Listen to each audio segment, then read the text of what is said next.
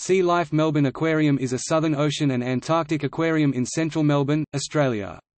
It is located on the banks of the Yarra River beside and under the Flinders Street Viaduct and the King Street Bridge. The attraction is a sea life centre owned by Merlin Entertainments.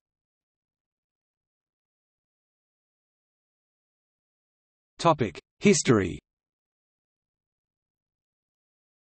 The current building was built between February 1998 and December 1999. The building was designed by Peddle Thorp Architects to resemble a ship moored to the river, and opened in January 2000.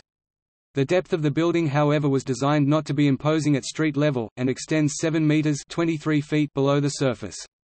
At its center is a world-first 2,200,000-liter (580,000 US gal) oceanarium in the round where the spectators become the spectacle to the marine life swimming around them. Soon after opening, the building had a Legionnaire's disease outbreak that resulted in two deaths and another 60 people being affected. Those affected had visited the aquarium between 11 and 27 April 2000. A damages action was brought in May 2000, ending in February 2004. On November 28, 2008, Melbourne Aquarium officially opened after a significant expansion, also designed by Peddle Thorp, and now extends from the Yarra River to Flinders Street. A new entrance was built on the corner of Flinders and King Streets.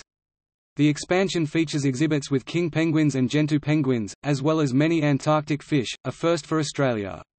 The exhibits also feature real ice and snow to simulate Antarctic conditions, and take visitors on an expedition to Antarctica. The penguins were sourced from Kelly Tarleton's Underwater World in New Zealand. In April 2013, Melbourne Aquarium's owners, Merlin Entertainments, announced that they would be spending $8 million on the refurbishment of the facilities. As part of the process, the aquarium will be rebranded as a Sea Life Centre and relaunched in September 2013. The current aquarium succeeded an earlier site in the eastern annex of the Royal Exhibition Building, which burned down in 1953.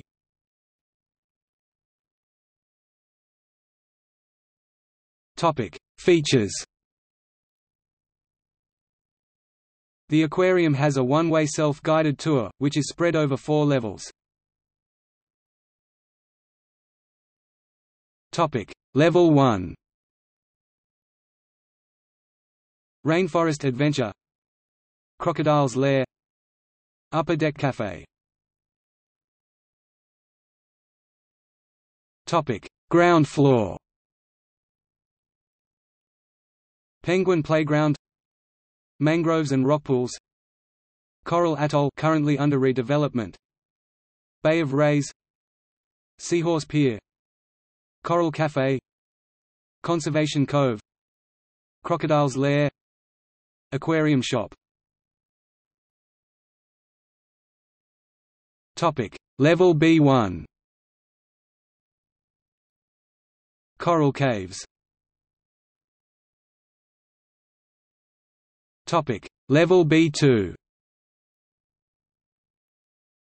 Mermaid Garden Shipwreck Explorer Ocean Discovery The aquarium is known for its main exhibit, the 2.2 million-litre Mermaid Garden Oceanarium, which features a grey nurse shark and sandbar whaler sharks, along with up to 2,000 marine creatures of diverse species.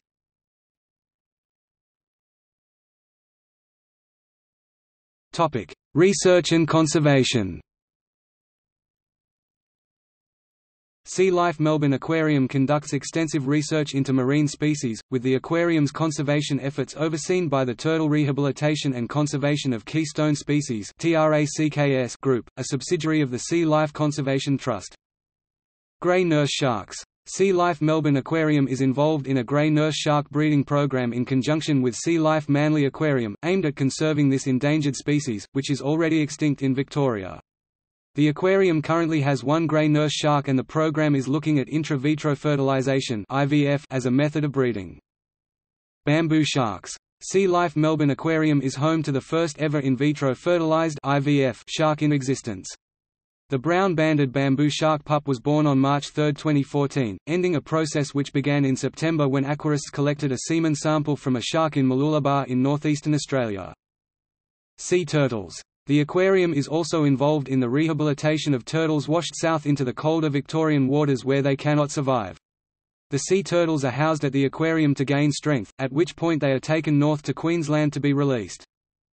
Sea dragons. Melbourne Aquarium is one of few worldwide to have successfully bred the locally endemic weedy sea dragon in captivity.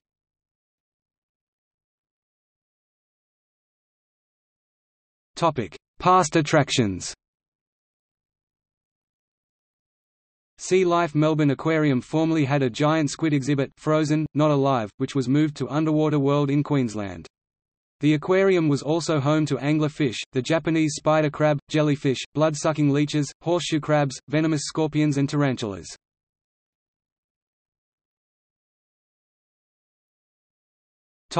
Ownership